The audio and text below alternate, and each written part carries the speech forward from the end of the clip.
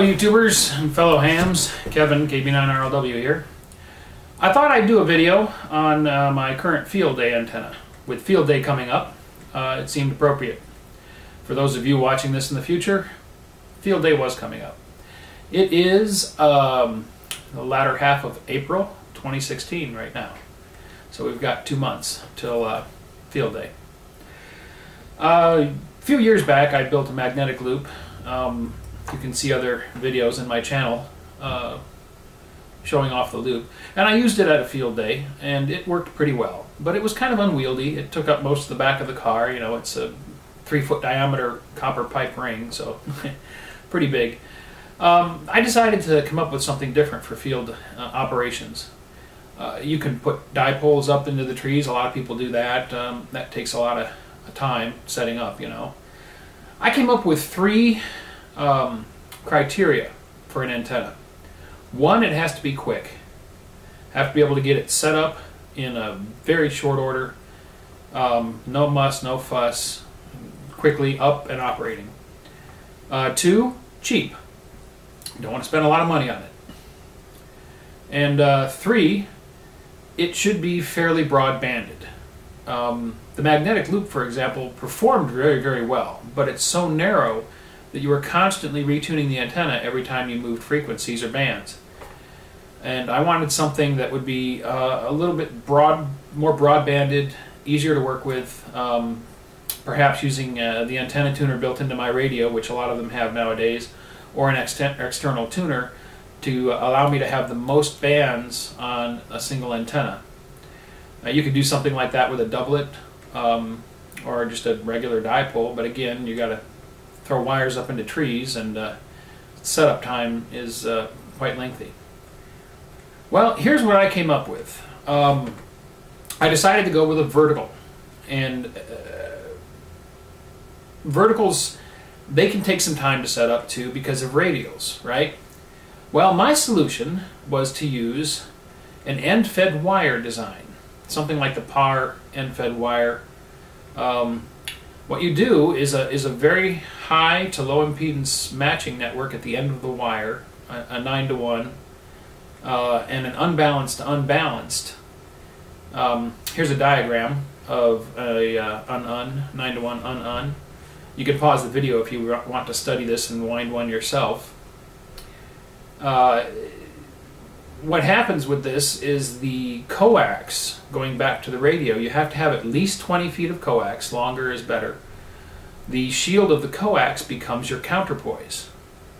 And the antenna performs very well without having to have any type of a local ground connection or counterpoise. You can do that if you want, but it's not necessary.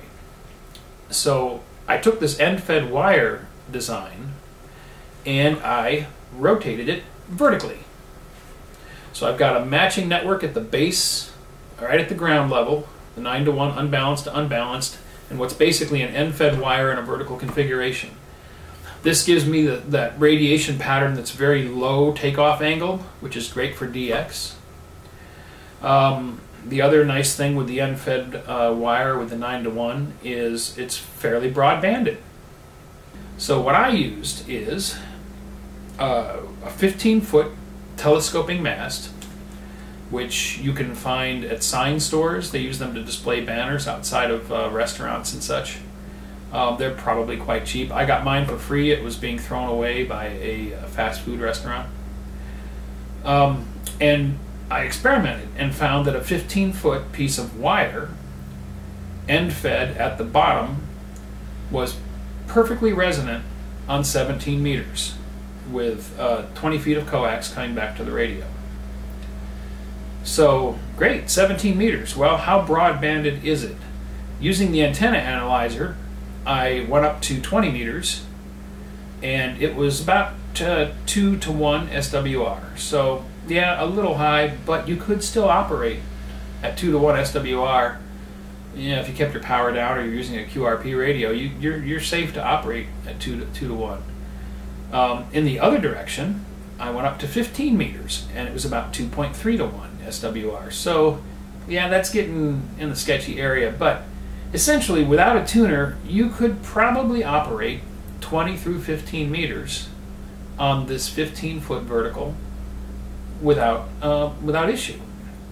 With an antenna tuner, like the tuner built into my uh, Elecraft KX3, I'm able to tune the antenna um, down as far as 30 meters.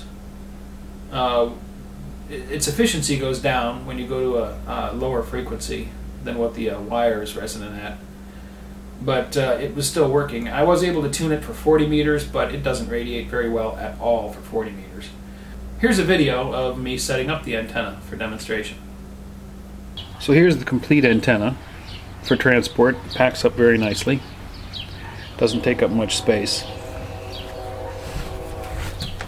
We have the advertising sign pole, telescoping pole, a fiberglass pole to put in the ground to hold the advertising pole, and in one small case,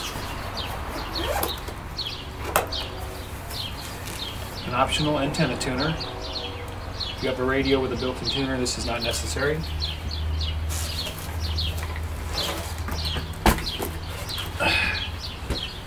And our antenna.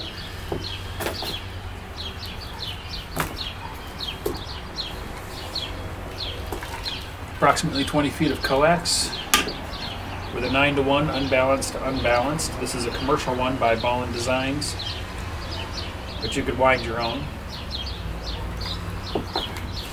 the main radiator.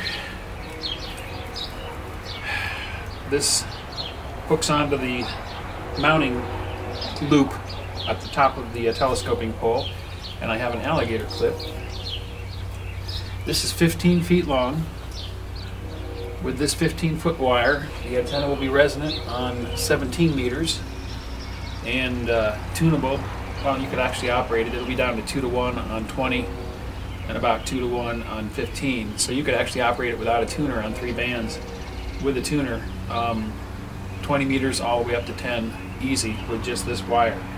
If you want to go lower, if you want to go down to uh, 30 meters, 40 meters, and even 80 meters, this is 27 feet of wire.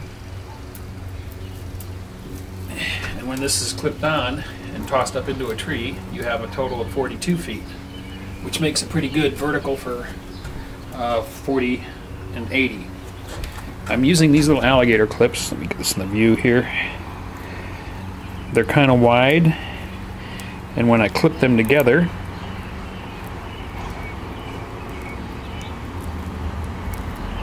like so, they make really good contact over four surfaces. They're fairly strong, not to come loose at all and that would lengthen the antenna.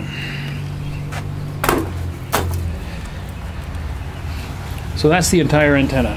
Very quick and easy to set up.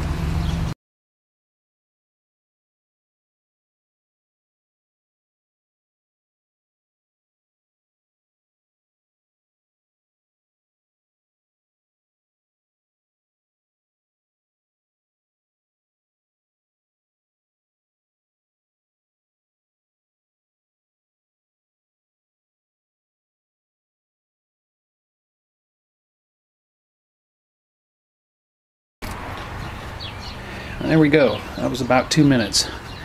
And the antenna is up.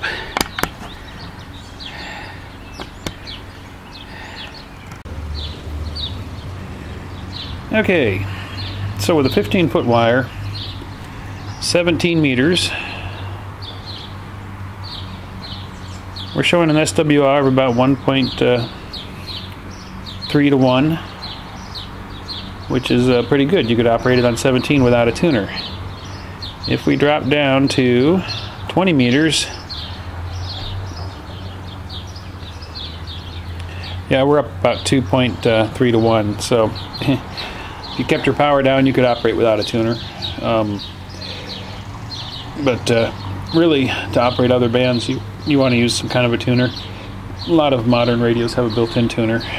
But we can get down to 20 meters uh, somewhat compromised but still operable without a tuner. Let's go in the other direction.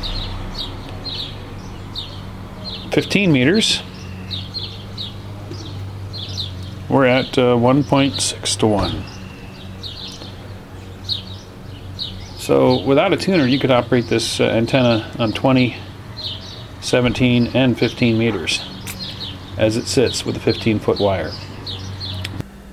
Using the antenna on uh, 17 and 20 meters when the band was open, I have made contacts over into Europe, down into South America, up into Canada, out to the west coast. Um, it works quite well.